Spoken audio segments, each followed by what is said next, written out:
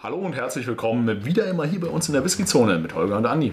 Auch von mir ein herzliches Hallo und heute haben wir einen richtigen Dauerbrenner bei uns auf dem Tisch und zwar einen äh, Glenmorangie Kintaruban. Ja, der brennt so richtig. Nein, das ist nicht gemeint.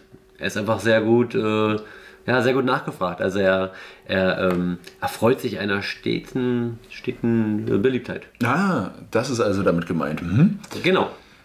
Ja, also zwölf Jahre alt, äh, das heißt bei uns, bei Glenmorangie, äh, heißt das sozusagen äh, zehn Jahre Ex-Bourbon in First Fill und äh, Second Fill Ex-Bourbon Fässer Mhm. und mit einem extra Finish in äh, Ruby Portwein Fässern. Mhm. Ne? Der Profi sagt 10 und 2. 10 und 2, genau. Da gibt es also gibt's andere Geschichten, da gibt es einen Nectador ne, mit Sautern, Mhm. Sauternfasslagerung, da gibt es einen La Santa mit, äh, mit Cherry und Kinderroban, wie gesagt, in Portwein. Genau. Das ist so die klassische Reihe mit dem äh, Original, mit dem Zehner. Der passt da auch ganz gut rein. Ähm, genau. Ähm, was können wir hier zur Erklärung äh, sagen? Ähm, wir haben mal so ein bisschen nachgeforscht und ähm, da gibt es ein paar interessante, ein paar richtige und ein paar falsche Erklärungen zu dem Namen, meine ich jetzt. Ja? Ach so, na, dann Günther erzähl mal. Ruban. Ähm, leg mal los. Also ich will, Du hast äh, äh, Also meine die Einleitung richtige- so schön in, Worte geschmückt. Äh, Meine richtige Erklärung war gewesen, äh, wie die Bodega beim Sherry ist die Kinder quasi das, das Weingut des Portweins. So. Mhm. Daher der Name und dann äh, Ruban quasi abgeleitet von Ruby, also von äh, Rubinrot. genau. So soll die Farbgebung nachher auch sein. Genau, weil er ja in solchen Fässern lag. Und wir haben überlegt und überlegt, wir hatten glaube ich Erklärungen wie Kinder 5 oder was hast du noch gesagt? Na, gib mal Kinder einfach ein ähm, äh, also Kinderübersetzung oder so. Hm, dann steht dann so wie das fünfte oder fünfte, fünftes oder sowas. Ja. Und man sieht wirklich im Glas diese Rubinrotfärbung. Du hast so einen, äh, so einen Rotstich. Ne? So wie das. Oh, Mhm. Das ist richtig. So wie das, Das kann, halt man, gewollt ähm, ist. das kann man bei mir kaum übersehen, weil echt viel in dem Glas ist. Danke dafür. Ich zeige euch noch Ach, kurz bitte, die bitte. So. Ähm, lässt sich vielleicht ganz gut vergleichen. Ähm, nicht, weil sie so ähnlich sind, äh, um es einfach zu unterscheiden äh, mit dem, äh, mit dem Lasanta vielleicht mal. Da sieht man einen ganz deutlichen Unterschied. Und ähm, ja, was wollte ich jetzt noch dazu sagen? Jetzt, Angegeben ist nicht gefärbt. an, ja, da, darauf, äh, darauf wollte ich hinaus, genau. Ähm, angegeben, nicht gefärbt. Ja, Also normalerweise, Glenmorangie ist man eigentlich immer auf der sicheren Seite, wenn man Farbstoff mit angibt. Äh, bei dem wurde irgendwie darauf hingewiesen, dass es nicht gemacht wurde. Nicht kühl gefiltert, 46 Prozent. Ne? Also ziemlich, äh, wie sagt man, ziemlich natürlich belassen. ja. Ne? Okay, dann gucken wir mal hier. Trotzdem ist äh, die Grundnote doch die vom 10er. Ja? Du hast halt wirklich immer noch diese die frischen Fruchtnoten. Du hast äh, Vanille, Karamell. Dabei sind wir hier wieder mal, haben wir schon lange nicht mehr erwähnt, beim klassischen Brennereicharakter. Ja, genau, genau, stimmt. Und das ist auch, das ist auch echt gut so. Weil, Glenmorangie hat einfach, der hat es einfach drauf, was Brennereicharakter angeht. ja.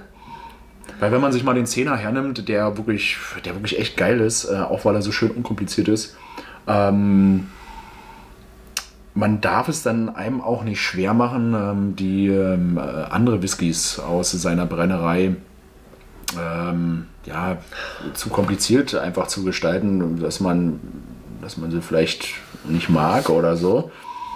Ähm, ja, weil, wer ist es? Never stop. Running System. So ist das. Also von daher, was, was großartig für Experimente machen, obwohl ja Glenmorangie ja natürlich auch Experimente macht. Es gibt ja auch die jährlichen Sonderabfüllungen und so, die Äh, genau, gerade da werden eigentlich Experimente gemacht. Ähm, da gibt es manchmal dann Sachen, die in Madeira nachgelagert wurden oder auch mal in, ähm, was war es noch? Es war eine bestimmte Art von Gerste wurde genommen, zum Beispiel bei bestimmten Abfüllungen. Und ähm, ja, trotzdem machen sie eine Menge richtig. Also die, die Core Range, die, die, das Standardsortiment sozusagen, bringt wirklich alles mit, was man so braucht. Du hast halt äh, Ex-Bourbon, du hast Sherry, du hast äh, Port, du hast Sautern, du hast 18 Jahre, 25 Jahre, du hast jetzt neue Vintage Edition. Top. Also nicht viel Schlechtes von Glenmorangie eigentlich bis jetzt im Glas gehabt. Ja, in der Tat, ja. Ja, so auch wie hier.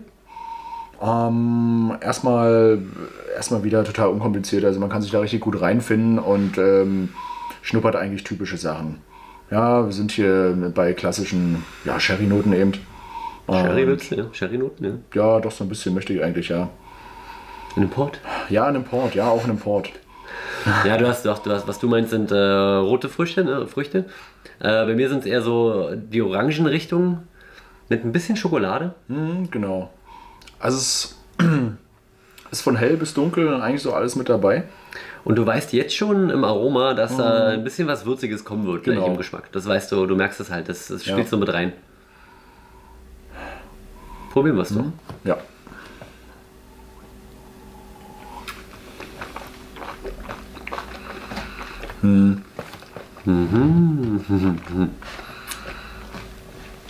Oh ja. Holla die Waldfee. Also da kommt nochmal richtig was. Es fängt erst sahnig an und süß. Aber dann gibt es nochmal richtig schöne Portionen Würze, Gehwürze, Pfeffer, Ja, das ist nicht so knapp. vielleicht sowas wie Nelken. Ein bisschen Zimt. Ah, ist schon, ist schon äh, krass. Also hatte ich gar nicht so gar nicht in Erinnerung. Und kein schönes Brett. Wir haben kürzlich mal, ähm, mal ein Experiment gemacht, einfach so, weil es gibt ja Leute, die behaupten, ein Whisky muss äh, so und so lange im Mund verbleiben. Ähm, äh, auch das, ähm, ihr kennt das, alles was ich dazu sage, ist mal diese, diese ganzen Regeln und so. Das, es gibt bestimmte Sachen, ja, die kann man wirklich falsch machen, das ist klar. Aber dann gibt es auch andere Sachen, genauso wie das, die muss man für sich selbst irgendwie herausfinden. Ähm, hier ist es so, bei dem, wenn man den wirklich extrem lange, ihr werdet das vielleicht gesehen haben, Ansonsten spult nochmal zurück. Ich habe mir jetzt wirklich mal äh, lange im Mund behalten und auch mal versucht, ähm, 10, 12 Sekunden. Es gibt halt so diesen Spruch, lassen so lange im Mund, ähm, wie viele Jahre er auf dem Buckel hat, also in Sekunden. Äh, wird dann so beim 30-Jährigen richtig schwer. ja, ähm, und, ähm, aber das Ding ist immer, ähm, es verschlägt einen dann auch erstmal für, ja, mindestens genauso lange die Sprache, so wie bei mir jetzt. Ähm, der wird richtig, richtig, richtig würzig. Ja, also es bleibt erstmal, es erschlägt einen fast, ja, im Vergleich, wenn man den wirklich mal so einfach so seine drei, vier, fünf Sekunden im Mund lässt, äh, wie es die meisten Leute halt häufig machen. Ja, also da könnt ihr auch mal, äh, auch mal ein bisschen variieren, äh, euch ein bisschen was ausprobieren. Genau, aber wie Holger schon gesagt hat, ähm, er wird sehr würzig, richtig schön rund, wenn, ähm, wenn das erstmal vorbei ist, wem das zu doll ist, ähm, nicht beiseite schieben. Den zweiten Schluck probieren. zweiten Schluck und dann probieren. hat sich der Mund äh, und der Rachenraum dran gewöhnt. Genau. Und du hast halt endlich mal ein bisschen Platz quasi für, für die anderen Noten. Ja. Und äh, in der Beschreibung steht bei uns drin so Minzschokolade und dieses Thema trifft es gerade ziemlich gut, finde Mhm. ich. Also du bist so ein bisschen so in Richtung, vielleicht nicht, nicht, jetzt, nicht jetzt wirklich nehmen, aber so ein bisschen After Eight in die Richtung. Ähm, Minze, dunkle Schokolade, viel Gewürze. Also trifft es ganz gut. Wird jetzt noch nicht bestätigt von Andi, aber vielleicht kann mir irgendjemand mal zustimmen nachher. Vielleicht kann mir mal irgendjemand mal zustimmen. ja, ähm, ähm, nö, kriege ich jetzt nicht so hin. Mit der Minzschokolade, aber After Eight war jetzt auch noch nie so mein Ding. Er bringt eine bestimmte Frische mit, die halt irgendwie äh, so ein bisschen wie Menthol auf Ja, der, ja. Äh, so im, im, im, im, im Mundraum liegt. Mhm. Genau, und das ist halt dann der Punkt in dem, in dem Fall. Ich möchte eigentlich, eigentlich möchte ich noch so viel mehr sagen, aber es, äh, es dauert bei dem eine Weile. Also er ist, ich würde ihn schon als sehr komplex ähm, äh, betrachten. Denke ich auch. Äh, wo, wo man sich wieder äh, ein bisschen mehr als 10 Minuten Zeit lässt. Eigentlich. Äh, wenn man nicht gerade irgendwie was äh, vorbereitet hat und vom Zettel abliest und dann runterrattert oder so, was meiner Meinung äh, nie so wirklich funktioniert. Ja, aber da gibt es mittlerweile, also mit Sicherheit auch andere, die, die können das sofort nach einer Minute greifen und äh, erzählen einen da 20 Dinge, die man da rausschmecken kann. Äh, bei mir funktioniert das leider nicht, ich brauche eine Weile. Ähm, deswegen verbleibt auch meistens immer noch ein kleiner Schluck drin, weil wenn das Video zu Ende ist, ähm, diskutieren wir, ja, das ist, was soll ich jetzt sagen? Kleiner Schluck. äh, diskutieren wir dann immer noch einen kleinen Moment. Und dann kommen viele Sachen erst. Ne? Genau, Im Gespräch miteinander vor der Kamera ist ja manchmal ein bisschen schwierig. Ähm, mein Fazit ist, es ist ein äh, super gelungener Whisky, wie auch die anderen drei Klassiker, sag ich jetzt mal so, von Glenmorangie. Ähm, kann man wenig verkehrt machen, sowohl für den Anfänger als auch für den Fortgeschrittenen. Ähm, seit Jahren immer wunderbar, der gehört dazu. Äh, Preis-Leistung äh, auch wunderbar. Äh, gibt nichts zu meckern. Absolut. Genau. Und gerade wenn man sich diesem Thema Fasslagerung und die Unterschiede nähern möchte, gibt es dieses äh, Probierset. Und da hast du wirklich mal alles mit drin, wo du Mhm. quasi äh, die ganzen Geschichten nebeneinander stellen kannst. Sherry, Port und äh, Sautern. Das sind somit die Hauptrichtungen zurzeit. Ähm, da kannst du wunderbar wirklich und, äh, vergleichen, wie die Sachen sich unterscheiden. Und die Unterschiede sind auch gut rausgearbeitet. Ja? Also es gibt halt Brennereien, da kriegst du es nicht so leicht hin. Bei Glenmorangie ist jemand an äh, quasi an in der Verantwortung, der da sehr, sehr, sehr gut arbeitet. Ne? Dr. Bill Lamson, der macht da auf jeden Fall einen sehr guten Job. In was der wohl seinen Doktor hat. Whisky Creating.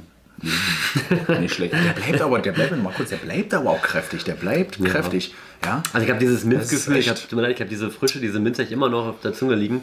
Der ist es fresh, der wird auch, der wird nicht so, der wird nicht irgendwie ekelhaft muffig oder so. Der bleibt, Mhm. äh, der ist ähm, wirklich gut ausbalanciert. Ähm, der ist ja hart am Gaumen in irgendeiner Form, weil, weil er den wirklich mit ganz vielen Aromen belegt, aber er über, überlagert nicht, ja, wenn man das mal so ausdrücken kann. Ich habe ein bisschen, ich habe ein bisschen äh, milder in Erinnerung. Vielleicht, ich weiß nicht, früher gab es die mal Hey, mit kann 43, sein. kann das sein? 43 Hey, gab es aber ja, das kann sein. Das habe ich mir die ganze Zeit überlegt, habe es mir aber nicht getraut zu sagen. Ja? Es gab ihn mal mit 43, glaube ich. Ist aber schon eine Weile her. Und ich glaube, äh, von, von der Zeit sind auch die Eindrücke von uns noch. Möglich, Weil jetzt ja. ist er wirklich ganz schön knackig, aber ist auch gut so, tut ihm gut. Ne? Ja. Unterscheidet sich dann dadurch nochmal.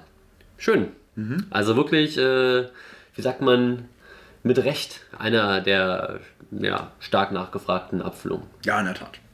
Ja. Macht euch euer Bild, liked unser Video, wenn es euch gefallen hat und besucht unseren Shop und bis zum nächsten Mal. Macht's gut.